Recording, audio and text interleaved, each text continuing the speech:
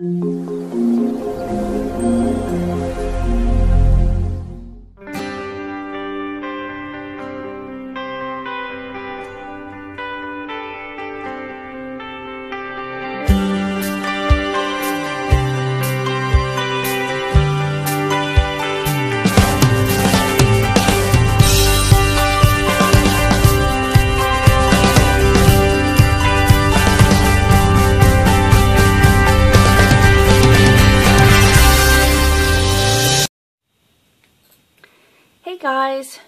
here I am again.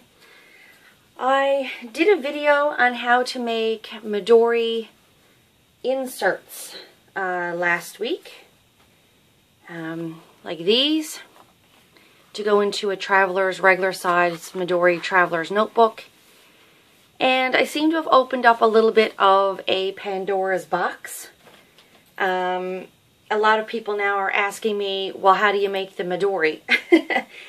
You can order them online, uh, the actual brand Midori, uh, Midori Traveler's Notebook. You can order them online at various different places, but what I have, I guess, is what they call a faux dory, or a fake dory, um, because I made it myself. This is a piece of leather that um, happened to be in my husband's workshop, and I cut it to make the cover and punched it and put the elastics in myself. So I'm going to show you how to make this. It is really easy. I don't have a piece of leather at the moment, so I'm just going to demonstrate using a piece of cardstock for the cover portion. And you'll just have to pretend it's leather that I'm using. So you're going to need a few things. Um, you're going to need you're either going to need a piece of leather, which is the most durable thing to make this out of. Um, it really takes a beating. And the more scuffed and nicked, I don't know how well you can see that, but the more scuffed and nicked and um, ratty it kind of gets, the better it looks. I've been using this for a couple of years now, and it is pretty worn, but it's still in great condition. You can wipe it off. I mean, mine has something spilled on it at the moment that I need to clean off, but anyway. Leather works best. Um, if not, you can buy faux leather at craft stores. Um, you can buy a piece of vinyl. Um, anything at all that's durable that you can use for the outside cover. You could even make it out of fabric if you wanted to sew some sort of fabric cover with something in the middle, like in between a couple of layers to make it stiff. Um, you could even do that. But I'm just going to demonstrate using a piece of cardstock. So what you're going to need, um, you're going to need a couple of different items. You're going to need uh, whatever you want to use for your for your cover. Okay. You are going to need scissors, um, a pencil or pen to mark your um, stuff with, uh, you may need, well you are going to need a ruler, an X-Acto knife of some sort or, or a cutting knife of some sort. Um, I'm actually going to use a paper trimmer because I'm going to cut mine with a paper trimmer, but you won't need a paper trimmer. You are also going to need something to punch the holes in the Midori with. Now I have I have a hole punch um, that I have from when I was scrapbooking. Um, it's a spring-loaded thing that I use, but um, you could use an awl um, with a mallet or a hammer or um, anything sharp, I guess, to punch the holes with. You're also going to need elastic. Okay, now you can purchase proper Midori last elastic online. I think this thing is trying to focus because I'm moving around so much. Sorry about that. Um, you can purchase proper Midori elastic online, but what I did was I went out and purchased um, some elastic like this. It's thick elastic cord. And I got that at Michael's. Um, and you can just cut it to whatever size you need. You're also going to want, if you want to fancy it up a bit, something for a charm for the front of your Midori. So I have an extra one here. And if you've noticed, I actually have some little charms on the edges of my holes here to kind of, you know, protect them a bit and fancy it up a bit. I happened to purchase a package of these. See if I can get that in focus. They're just metal buttons. I got these at Michael's as well. Okay? I think that's pretty much it. I'll put a list in the description box of what you'll need. Okay, so let's get started. You're going to take your piece of leather, vinyl, plastic, whatever it is, whatever you're using for your cover. And you are going to need to cut it this size. 10 and a quarter wide, okay, by 8 and a half high. If you fold out my cover, that's the size of my cover. Okay? Now, when I have all of my inserts in my cover, because I like a fairly thick notebook, I usually have about um, three, I usually have three notebook inserts along with this folder that I made and um, what else? And a calendar, a pocket calendar. I usually have all of that stuffed in my notebooks. My notebook is fairly thick. And when my cover wraps around it, the inserts come right out to the edge, or they might even peek out a little bit. If you want your cover a little bit wider to make sure that it, you know, it covers up your notebooks completely, then you're going to want to cut your cover a little bit larger than 10 and a quarter inches wide. Okay? But for the purposes of this demonstration, I'm going with 10 and a quarter. All right? So the first thing you're going to do is you're going to cut your piece of whatever sort of material you've chosen. And I have this template that I cut out uh, that I use whenever I decide I want to make a new cover. Because if you're making it out of vinyl or you want to use you want to have different colors or you want to change up your cover you can always you know cut yourself a new one and make a new one. That's the good thing about this.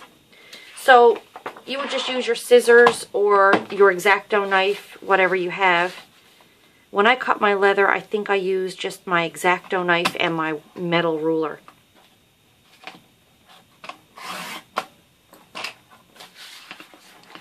And again, because this is just for demonstration purposes, I'm just making this fake cover out of this bit of cardstock I have here, just to give you an idea of how it's done. Okay. So this is going to be my cover. All right which is going to be folded in half, of course. All right, as your insert cover. Or not your insert cover, your Midori cover.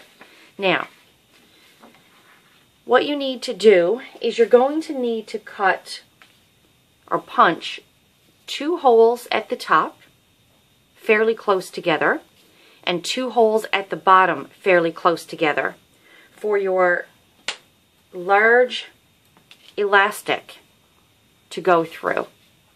Okay, because this is the binding system for the Midori. The binding system for the Midori consists of, I've got too many straggly ends here on mine. Let me just cut these off. There we go. Binding system for a Midori consists of um, one large elastic that runs woven in between these punched holes. And then another one that runs through a center hole to use as an enclosure that you can wrap around the Midori to close it up, okay? So the holes that you're going to want to punch, you're going to want to punch these, and you're probably not going to see this when I'm marking it, so I will show you in a second. But you're going to want to punch these from the edge of your, the top of your Midori cover, you're going to want to punch one hole at a quarter inch and one hole at a half inch. Okay? And same thing with the bottom. Come in from the bottom a quarter inch and punch one hole at a quarter inch and punch one hole at a half inch. Now, the reason that I chose those hole sizes specifically is because it was the right size, the right spacing for my buttons. Okay? These buttons, the holes are a quarter of an inch apart. So I came in about a quarter of an inch from the top and I punched two holes to match my button. Whatever you're going to use for your charm on the outside of your Midori, measure the holes. Lay the charm on the Midori first, see the placement of it, and mark your holes on your fabric or whatever. So you would lay your charm down and mark your holes with your pencil through the uh, through the charm. Okay? So these measurements may not be right depending upon what you choose for a button or a charm or a clasp to put on the outside of your Midori here. Okay, just keep that in mind. So we're just going to poke those holes.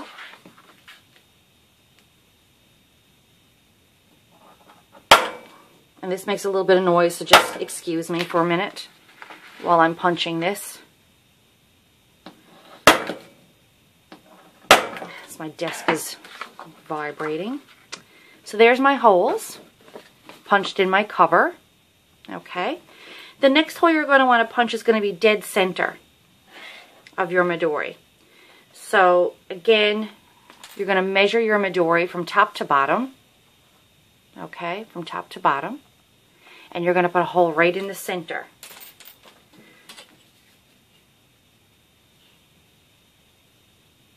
So your Midori is eight and a half tall.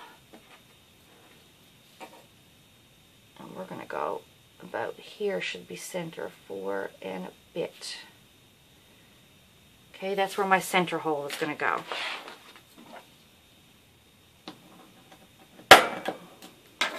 All right, there we go. So I have all the holes punched. Now, easy peasy. This is even easier than the insert to make. Once your cover is all punched and you end up with a piece of leather or vinyl that looks like this, you're going to cut one large length of elastic. Okay? And your elastic has to be large enough. I'm just going to unwind this here. It has to be large enough to go through the holes at the top and bottom and be able to tie in the middle. Okay. So, I tend to thread it first and then cut when I'm done threading. Now the question is, how easily am I going to be able to get this through here? So, um, what's the best way for me to do that? I wonder if I had a darning needle. Hang on, I'm just going to get a darning needle. Stand by. Okay, my apologies there. So I got a large darning needle um, that you would use for sewing up, say, you know, needlework or crochet. It's got a very large eye in it, but yet it's still small enough to go through the holes in my buttons, okay? I've just threaded my elastic through it. And what you're going to do, move this out of the way, is you're actually, let's see if I can uh, zoom in here a little bit. Let's try that. Okay. You're actually going to go out through the top hole of your Midori. Okay. Flip it over. And you're going to thread your charm on, oops, like so. And then you're going to go in through the other hole on your charm and back in through the Midori. Like so. Okay, you see that? Then you're going to flip it back over to the front.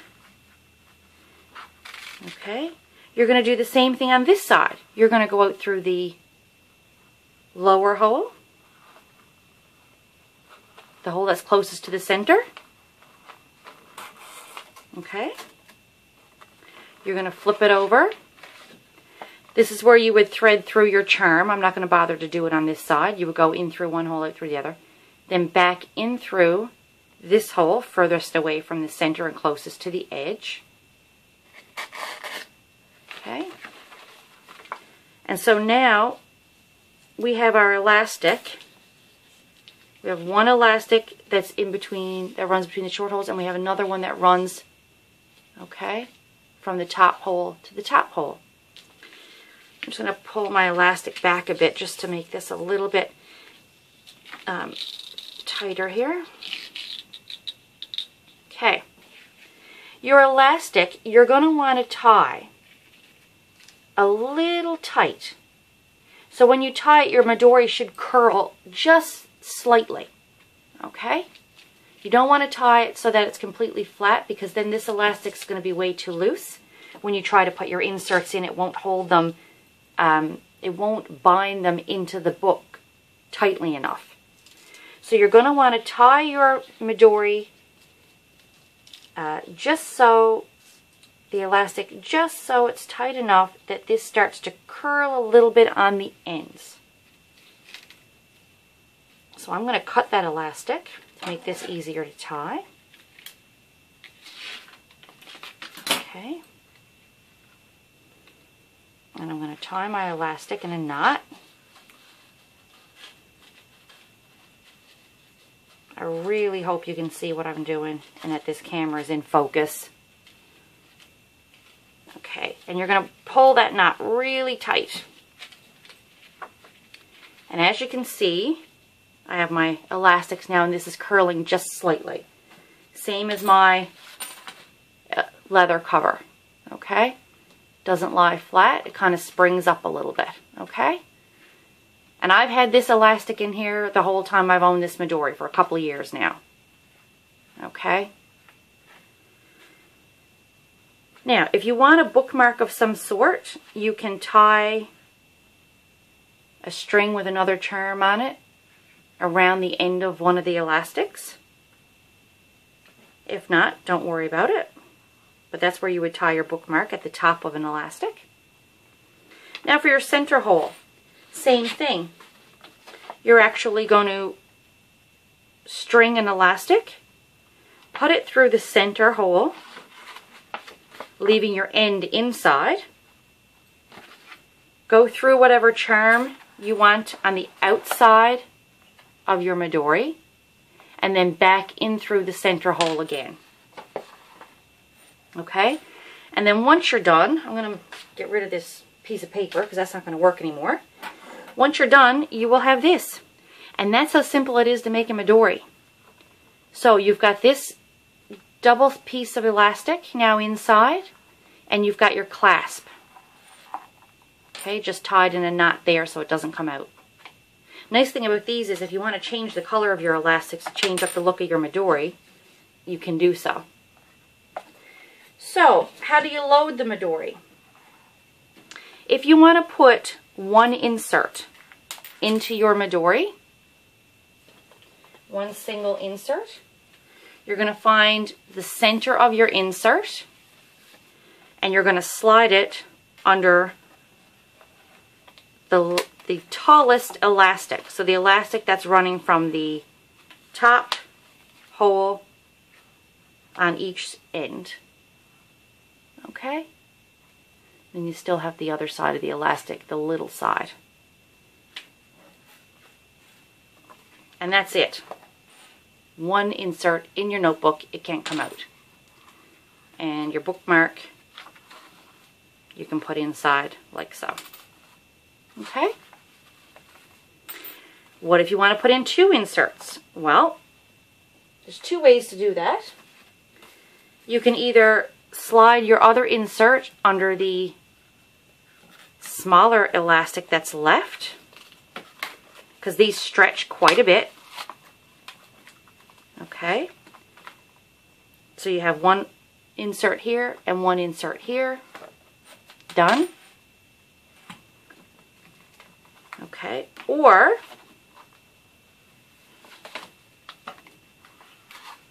another way you can do it. You can actually take a Midori elastic, which I have another one here, that I made myself, or you can order them. Hang on, I'm just going to cut the end off this because same sort of thing. It's got ratty ends on it. Here we go. Okay, here's my other elastic. You can hook your elastic over the middle and then hook the same elastic over the middle of your other insert like so. Now both of your inserts are hooked together. Okay?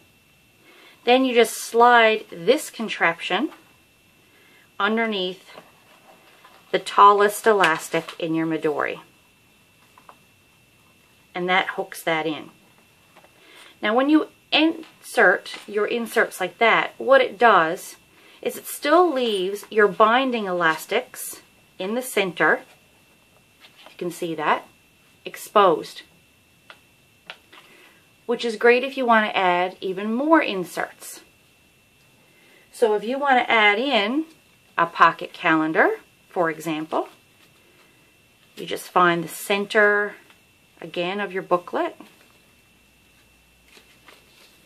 And you can slide that under this is a small book, so I'm going to slide it underneath the small elastic here, the one that's in between the two shortest holes. And now my calendar is in the middle of my two um, things, and they can't come out. See? They are really sturdy. They're really hooked in. There's no way, there's no way these are falling out. Okay? What about if I want to put my pockets in? Or what about if I want to add another insert? Well, it's a couple of ways to do that. You can join your pockets and another insert using the same method, sliding two elastics around the center so that they are joined like the first two books we put in. And then you can slide those in between your tallest elastic again.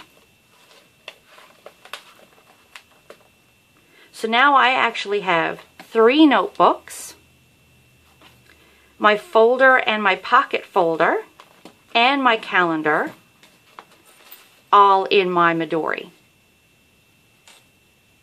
Okay? And again, they won't fall out. They can't fall out. The elastic binding keeps them all in.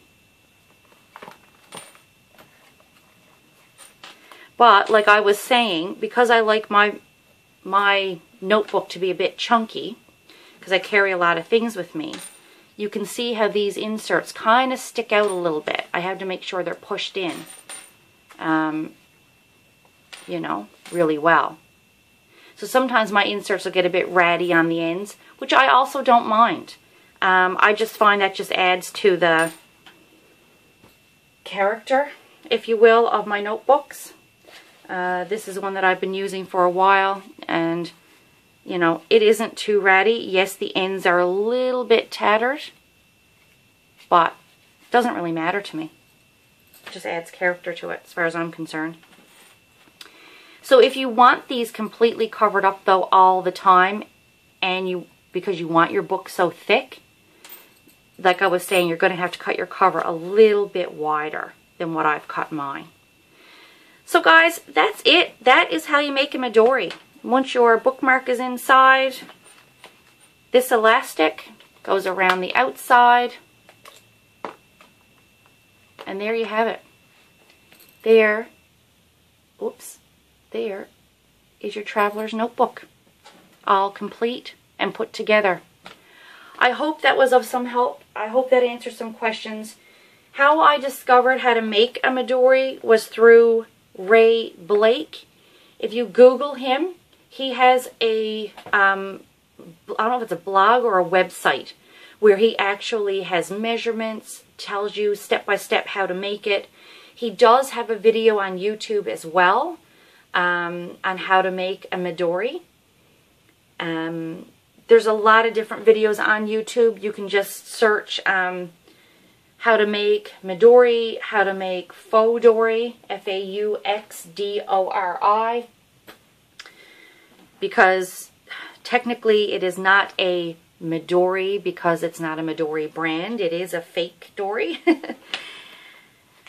when I made my uh, folder insert, this was a file folder, a regular legal size file folder that I cut down, folded, and glued so that I would have pockets. Um, and I had a strip of leather that was left over, and I just used my hole punch and I riveted on a little strip to the folder for my fountain pen. Um, so it's fairly secure there and I just I just pop it out and um, write with it and then put it back in because I'm a little bit of a stationery pen addict as well so I like my fountain pen Anyway, that's it. And then when my elastic goes around, it goes right around the pen and all. It just a little bit extra security. So that's it. Um, hope you enjoyed that. If you have any questions, put them in the comments. I will do my best to try and answer them for you. And um, thanks for watching. Thanks for subscribing. And we'll see you again soon. Bye.